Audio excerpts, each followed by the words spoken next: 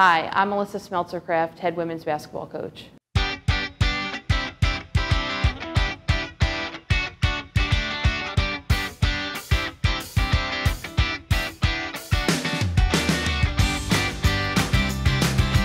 I joined the staff here at Shenandoah University um, six years ago and I joined as an assistant coach. Uh, I was the first uh, full-time women's basketball assistant coach. Um, after one year of being in that role, I was promoted to being the head coach and that was five full academic calendars ago.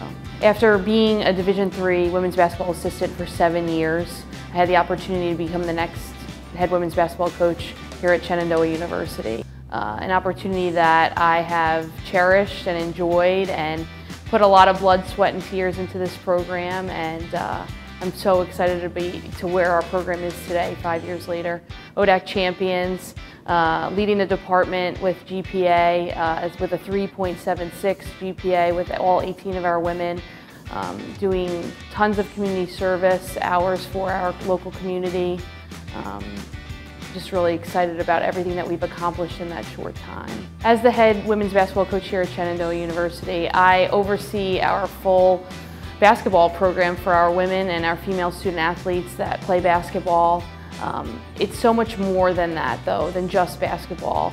We are so heavily involved in their day-to-day -day lives, their academic progress, um, the influence that they have in the community as members of our program, also who they continue to be after they leave here. We have such a tremendous influence over that.